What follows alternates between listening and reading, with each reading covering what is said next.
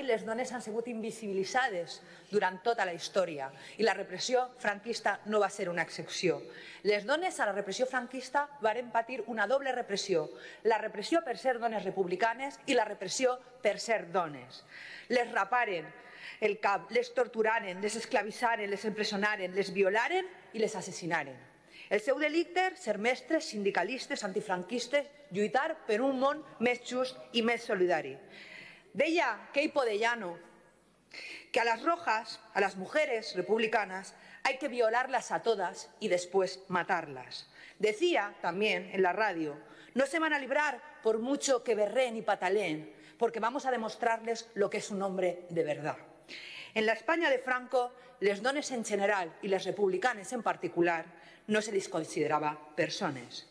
I no podem oblidar tampoc a les dones a les que les van furtar els fills i les filles, com Maria la Jabalina, que avui encara està en una fossa comuna al cementeri de Partena, a la que li arrencaren el seu beber només nàixer i després la fusellaren en el terrer.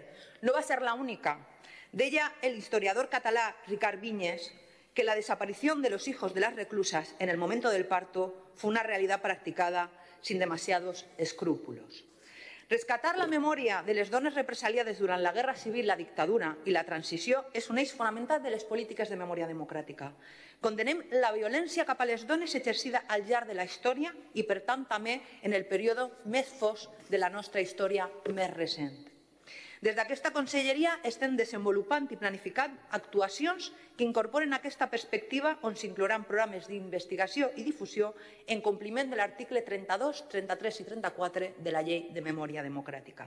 I tenim clar que aquesta tasca ha de desenvolupar-se de manera transversal abarcant polítiques tant d'educació com de justícia, com d'igualtat i, sobretot, de cultura també.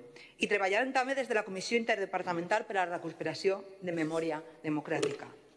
La diputada ja ha anomenat algunes. La història no va esborrar el nom de les Trece Roses. És obligació nostra que no s'esborre el, el nom de moltes altres que lluitaren pels valors democràtics i la llibertat.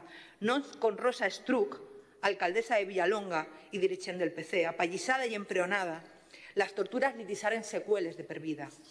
Remedios Montero, coneguda com Celia, guerrillera antifranquista i membre del PC, torturada salvatgement i empresonada. Les tortures van impossibilitar que tinguera fills al llarg de la seva vida.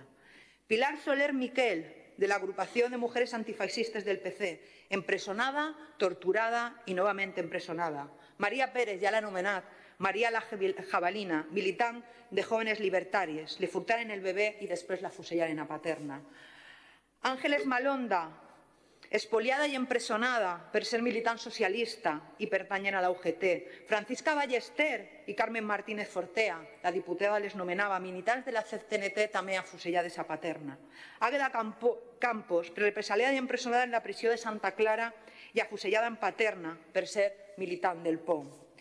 I per últim, no m'agradaria acabar sense, sense nomenar a Alejandra Soler, que va militar tota la seva vida al PC i que hem tingut la sort de gaudir-la fins fa molt poquet i que, a més a més, estar en ella era una lliçó de vida, que va partir l'exili.